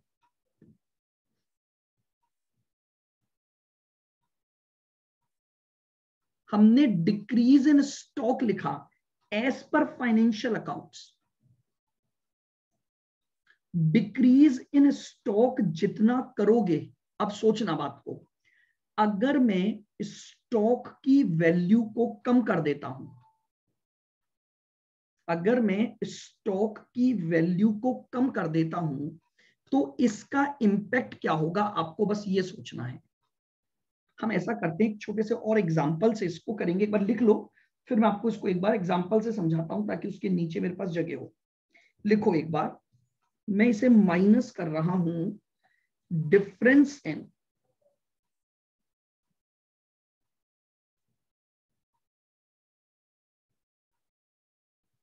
difference in.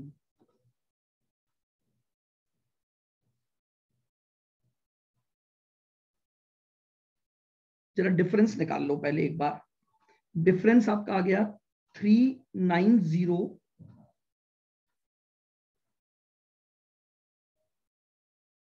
one two five double zero minus three eighty two zero six zero six जरा इनका डिफरेंस भी पहले अपन निकाल के आंसर निकाल लेते हैं, फिर अपन इस पर चर्चा करते हैं। Three nine zero one two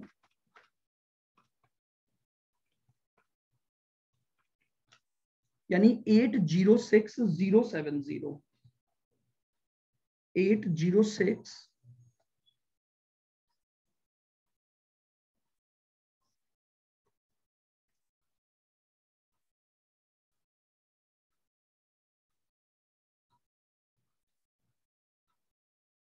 आओ। अब ये आ जाएगा मेरे पास profit as per cost records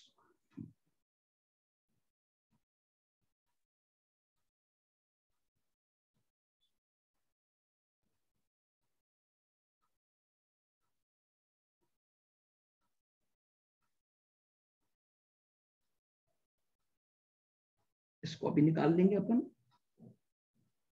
अब जरा अपन समझते हैं निकाल लिया आपने। चलो, मैं लिख देता हूँ फिर तो निकाल ही लिया तो। यही आपको क्वेश्चन में दे रखा है ट्वेंटी टेन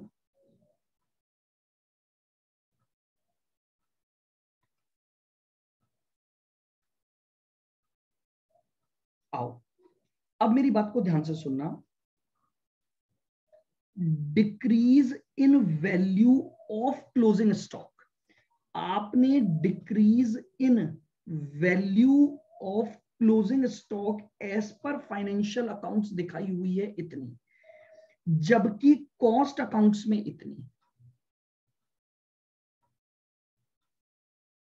जानते हो, अगर मैं इसको ऐसे बोलूँ कि डिक्रीज इन वैल्यू को आप एक वैल्यूशन पर्पज समझो, यानी मैं आपसे एक सिंपल सी बात ये कह रहा हूँ कि आपने जो स्टॉक की वैल्यू डिक्रीज की हुई है वो 38 सॉरी 382 से की हुई है।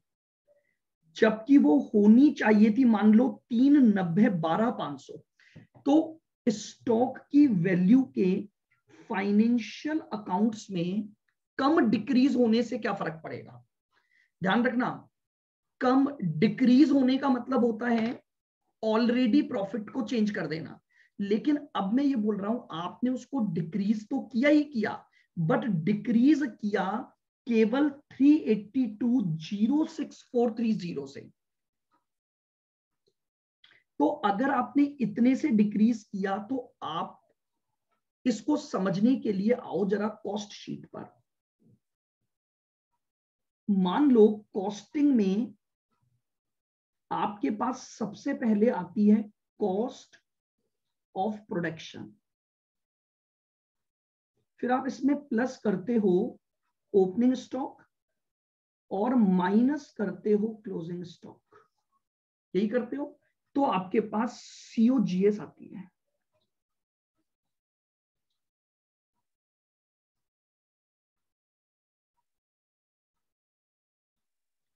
अब मैं आपको ये बोल रहा हूँ, आप ये वैल्यू को जितना माइनस करते हो, उससे आपकी सीओजीएस कम हो जाती है। बिल्कुल ध्यान से देखना। ये वैल्यू जितनी लिखोगे, इन दोनों के टोटल में से जब आप ये क्लोजिंग स्टॉक माइनस करोगे तो सीओजीएस चेंज हो जाएगी। अगर सीओजीएस कम होती है तो आपके जो प्रॉफिट हैं वो क्या हो जाते हैं? अगर सीओजीएस आपने कम हुई तो प्रॉफिट क्या हो जाते हैं? बढ़ जाते हैं। यहाँ तक बात समझ आ गई? फिर सुनना। जितना क्लोजिंग स्टॉक लेस करोगे, उतना सीओजीएस कम हो जाएगी। मान लो मैं आपको ये बोलता हूँ, दो डेटा लेता हूँ। इन दोनों का टोटल आ रहा है तीन लाख। मैं आपको ऐसे समझाता हूँ और एक तरफ़ मैं लेता हूँ तीन लाख दो सिचुएशन को सुनना बस। ये क्लोजिंग स्टॉक मैंने एक लिया अस्सी हज़ार और एक लिया मैंने मान लो साठ हज़ार। बताओ सीओजीएस कितनी आई? दो चालीस सॉरी दो बीस और दो चालीस। सेल्स ले लेते हैं मान लो दोनों तरफ़ चार लाख। प्रॉफिट निकालो। मैंने कॉस्टिंग के प्रॉफिट की बात की अभी पहले। तीन में से अस्सी गया तो दो बीस की सीओजीएस तीन में से साठ गया तो दो चालीस की सीओजीएस प्रॉफिट निकालते हैं। चार लाख माइनस दो बीस तो एक अस्सी का प्रॉफिट और चार लाख माइनस दो चालीस, एक साठ का प्रॉफिट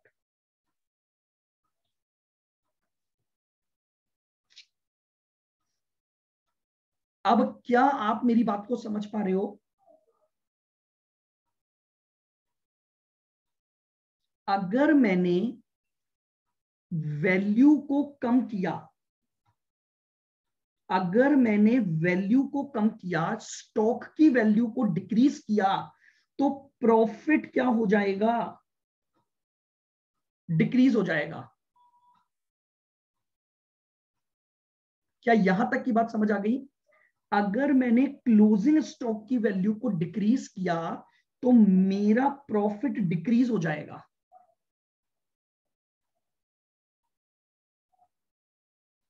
बोलो, क्या ये लाइन सबको समझ आ गई? यहाँ तक की बात। मैंने कॉस्ट शीट से समझाना चालू किया आपको। मैं आपको ये बोल रहा हूँ, मैंने अगर क्लोजिंग स्टॉक की वैल्यू को डिक्रीज करके रिकॉर्ड किया तो मेरा प्रॉफिट कम हो जाएगा। रीजन सीओजीएस बढ़ जाएगी और सीओजीएस बढ़ेगी तो मेरे पास मेरा प्रॉफिट चेंज हो जाएगा। अब आओ। अब मैं बोल रहा हूँ, मैंने क्या किया? कॉस्ट में तो डिक्रीज किया तीन नब्बे बारह पाँच सौ से। तो इसका मतलब प्रॉफिट भी इतने से कम होगा कि नहीं होगा? कई बार हमें कॉस्टिंग से सोचना पड़ता है।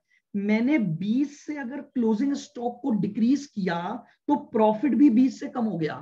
तो अब मैं बोल रहा हूँ, अगर कॉस्ट में इतनी वैल्यू लिखता हूँ तो प्रॉफिट भी इतने से ही कम होगा। लेकिन फाइनेंशियल में तो मैंने अलग लिखा है। फाइनेंशियल में मैंने अलग लिखा है। तो इसका मतलब अगर मुझे कॉस्ट के प्रॉफिट तक जाना है तो इस डिफरेंस के अमाउंट को मुझे और लेस करना पड़ेगा। क्यों? ये जो कॉमन अमाउंट है, ये प्रॉफिट तो दोनों जगह कम हो गया। लेकिन कॉस्ट में प्रॉफिट ज़्यादा कम होना चाहिए। क्योंकि मैंने फाइनेंशियल में कम डिक्रीज किया और यहाँ पर ज़्यादा डिक्रीज किया। तो इसलिए मैंने इसको यहाँ पर बराबर लाने के लिए लेस कर दिया। एक तरीका तो कॉस्ट शीट से समझने का है।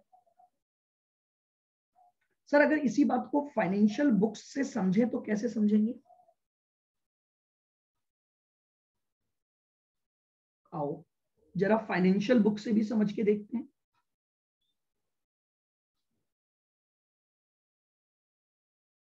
दो बात लेता हूँ मैं फाइनेंशियल बुक्स में भी।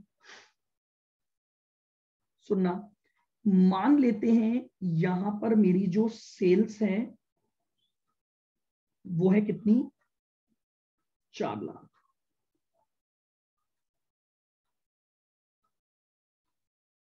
सेल्स चार लाख। और यहाँ मेरा क्लोजिंग स्टॉक है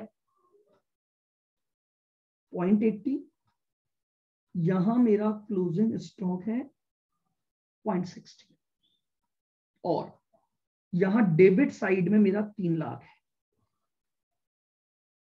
प्रॉफिट निकालो जल्दी से। प्रॉफिट निकालो। यहाँ प्रॉफिट कितना आया? 180 और 160 इधर आएगा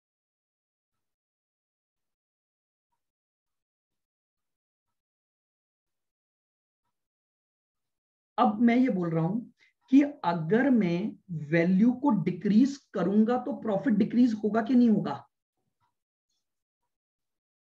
आप देख रहे हो, यहाँ पर भी सेम इंपैक्ट आ रहा है। अगर मैं क्लोजिंग स्टॉक की वैल्यू को डिक्रीज करूँगा तो प्रॉफिट भी डिक्रीज होगा। लेकिन मैंने केवल इतने से प्रॉफिट डिक्रीज किया हुआ है। मैंने केवल इतने से प्रॉफिट डिक्रीज किया हुआ है। क्योंकि मैंने फाइनेंस में एक अलग डिक्रीज रिकॉर्ड किया। तो अब अगर मुझे इतने तक पहुँचना है तो क्या मुझे बचे हुए अमाउंट को और कम करना पड़ेगा कि नहीं करना पड़ेगा, बताओ? क्या मेरी बात अब समझ आई क्या? मैं फिर बोल रहा हूँ मेरी बात को सुनना। मैं अगर फाइनेंस में केवल 382.06430 से वैल्यू कम लिखता हूँ तो मेरा प्रॉफिट उतने से ही कम हुआ बस केवल। जबकि कॉस्टिंग में प्रॉफिट ज़्यादा से कम हो गया कि नहीं हो गया? मैं जितने का डिक्रीज रिकॉर्ड कर रहा हूँ प्रॉफिट में उतने का ही इंपैक्ट आ रहा है कि नहीं आ रहा? पहले तो ये रूल समझो। अगर मैंने क्लोजिंग स्टॉक को 20 से डिक्रीज किया तो प्रॉफिट भी 20 से डिक्रीज हो गया कि नहीं हो गया? यस yes, सर दोनों तरफ़ देख लो, मैंने दोनों बातों को लेकर समझा दिया। मैं ये बोलना चाह रहा हूँ, बिल्कुल, मैं किसी भी तरह से सोच सकते हो आप, मैं फाइनेंस से भी सोचना सिखा रहा हूँ अब आपको। मैं आपको ये बोल रहा हूँ, आप जितने से स्टॉक की वैल्यू को डिक्रीज करोगे प्रॉफिट उतने से कम हो जाएगा। इसका मतलब फाइनेंस का प्रॉफिट तो इतने से कम हो रखा है। लेकिन कॉस्ट का प्रॉफिट इतने से कम हो रखा है। तो दूसरे सेंस में मैं ये बोल सकता हूँ कि फाइनेंस का प्रॉफिट बढ़ा हुआ है। कितने अमाउंट से? Eight zero six zero seven zero से बढ़ा हुआ है कि नहीं है बताओ? मैं ये बोल रहा हूँ, जितने से डिक्रीज किया, उतना प्रॉफिट तो मैंने कम कर दिया। तो मैंने फाइनेंस का प्रॉफिट तो इतने से कम किया, लेकिन कॉस्ट का प्रॉफिट इतने से कम किया। इसका मतलब मैं ये बोल सकता हूँ कि फाइनेंस का प्रॉफिट अभी भी इतने से बढ़ा हुआ है।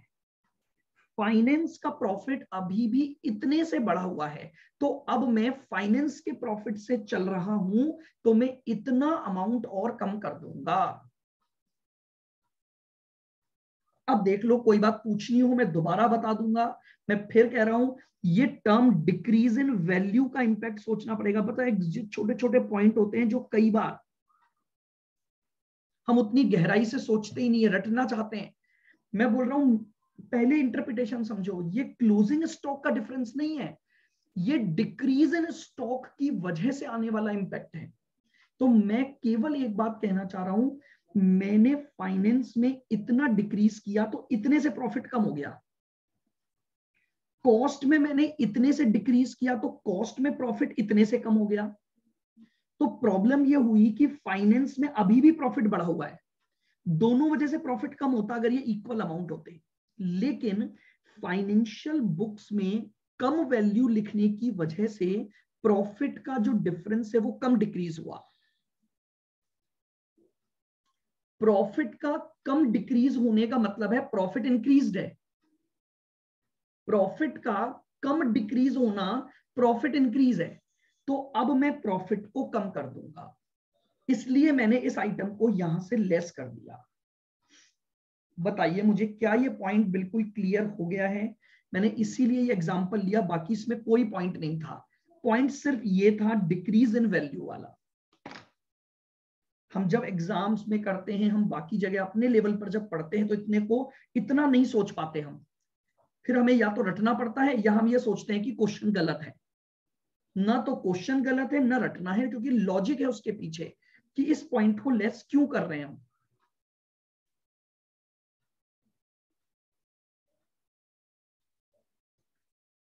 बताइए, अगर कोई भी डाउट हो, मैं एक बार वापस से एक्सप्लेन कर दूँ।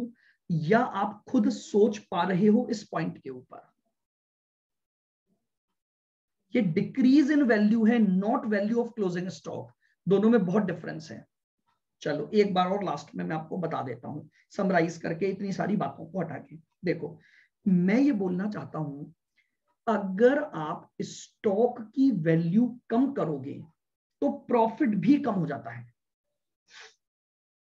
क्लोजिंग स्टॉक की वैल्यू को डिक्रीज करोगे तो प्रॉफिट भी कम हो जाता है। तो अब सिंपल सा रूल है।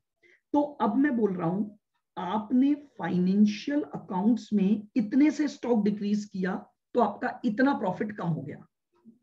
जबकि कॉस्ट अकाउंट में इतना डिक्रीज किया तो इतने से प्रॉफिट कम हो गया। इसका मतलब फाइनेंशियल अकाउंट्स में अभी भी प्रॉफिट बढ़ा हुआ है। क्योंकि एक्चुअली में कॉस्ट अकाउंट में तो प्रॉफिट कम हुआ तीन नब्बे से और फाइनेंशियल बुक्स में प्रॉफिट कम हुआ 382 से। तो इसका मतलब अभी भी फाइनेंशियल अकाउंट्स में प्रॉफिट 806070 से बढ़ा हुआ है फाइनेंशियल में। तो अब मैं चल भी फाइनेंशियल के प्रॉफिट से रहा हूँ तो मैं इसलिए क्या करूँगा कि फाइनेंस के प्रॉफिट में से इस डिफरेंस को लेस कर दूँगा। तो मैं अपने कहाँ पर पहुँच जाऊँगा? Profit as per cost records आ जाएँगे। बोलिए क्लियर है बिल्कुल?